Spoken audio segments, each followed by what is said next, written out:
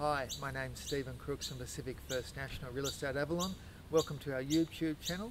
Today we are outside of this architecturally designed property of number 35 Albert Road. This property offers three bedrooms, two bathrooms, a double lock-up garage and a really nice open plan living area which opens out onto the backyard. Fantastic for those barbecues where you want to invite your friends over. Generally speaking in the marketplace, we had just sold number 7 Albert Road on the weekend. Have a look at one of our previous YouTube postings to see how that auction went. That did sell under the hammer.